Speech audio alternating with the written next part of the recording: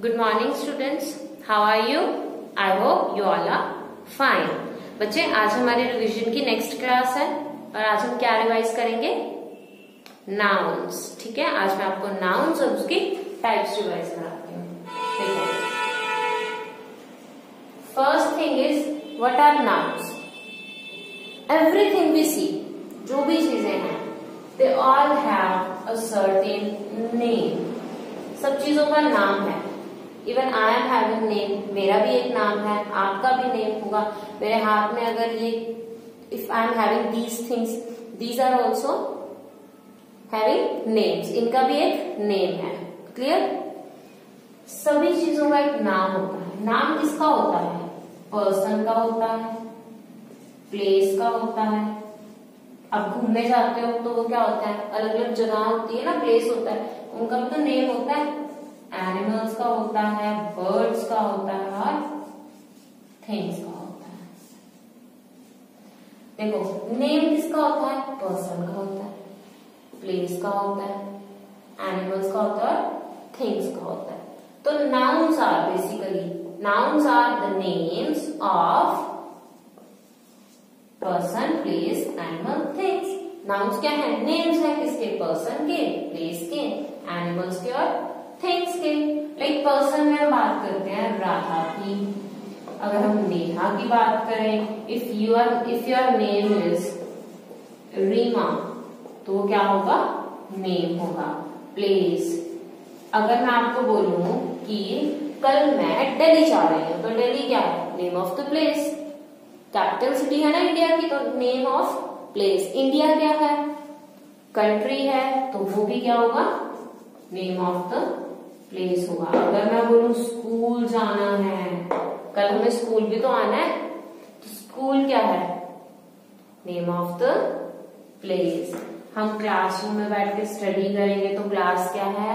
Name of the place animals if you are having small pet dog dog हुआ, देखते हो streets पे cows होती हैं। स्ट्रीट्स पे देखते हो ना काउ भी है। वो क्या है सारे? एनिमल्स मेरे हाथ में क्या है? पेन है डस्टर है। आप कहा से किससे पढ़ाई कर रहे हो? बुक से पढ़ाई कर रहे हो? पेंसिल यूज़ कर रहे हो? तो ये सारे क्या हो गए? नेम ऑफ़ थिंग्स हुए so basically nouns are the names of person place animals and things clear अब नाउन्स क्या होते हैं? ये पता लगा। अब हम पढ़ेंगे नाउन्स की types we have done before that there are three types of nouns. पहले हमने कितने टाइप्स पढ़ी थी? थ्री टाइप्स पढ़ी थी. Proper noun common noun abstract noun यही पढ़ी थी थ्री टाइप्स प्रॉपर नाउन्स पढ़े थे कॉमन नाउन्स पढ़े थे और एब्स्ट्रैक्ट नाउन्स पढ़े थे क्लियर अब देखो, एक ब्रीफ देती हूँ. एक्सप्लेनेशन विद एग्जांपल्स हम नेक्स्ट क्लास में पढ़ेंगे. एक ब्रीफ क्या दे रही हूँ? कि प्रॉपर नाउन कॉमन नाउन और एब्स्ट्रैक्ट नाउन होते क्या हैं? अच्छा ठीक है, अब ये बताओ कि अगर मैं बात करती हूँ बॉय की तो क्या आपको पता है कि मैं कौन से बॉय की बात कर रही हूँ?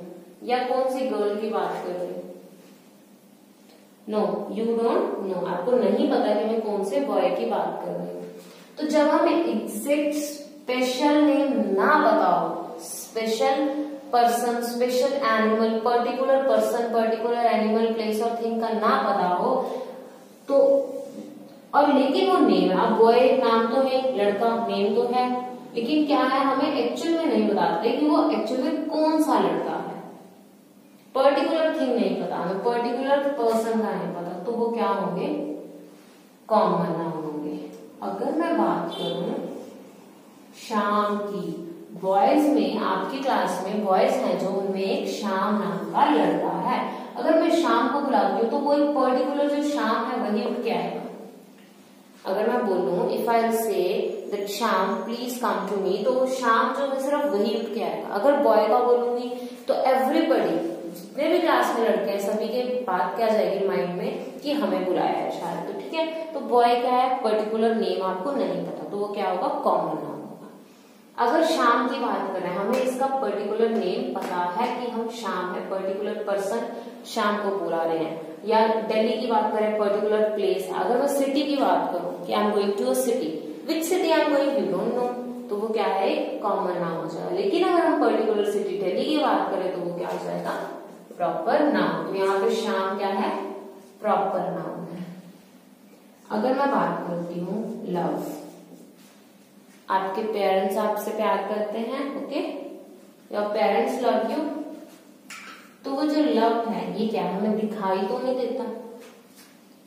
आपको दिखाई देते? हम सिर्फ़ क्या कर सकते हैं?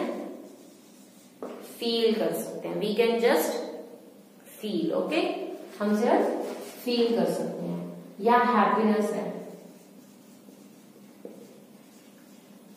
ये भी हमें दिखाई नहीं देती। अगर हम स्माइल कर रहे हैं, ठीक है, वो अलग चीज़ है, वो दिखाई देती है, लेकिन दिल से खुश होना happiness basically belongs to our heart जो हम सिर्फ़ फील कर सकते हैं। तो ना तो ये कॉमन नाउन में आता है, ना ये प्रॉपर नाउन में आता है। ये किसमें आता है? एब्स्ट्रैक्ट नाउन में because we can just feel it we can not touch it हम इसे टच भी नहीं कर सकते और हम इसे देख भी नहीं सकते. We can not see it we can just feel it तो ये किसमें आएगा? एब्स्ट्रैक्ट नाउन्स में आएगा. अब इसको एक्सप्लेन करेंगे हम नेक्स्ट क्लास में इन तीनों टाइप्स को प्रॉपर नाउन कॉमन नाउन और एब्स्ट्रैक्ट नाउन्स को एक्सप्लेन करेंगे अच्छे से with examples so that it will make you more clear जितना आज आया वो समझ आया सबको।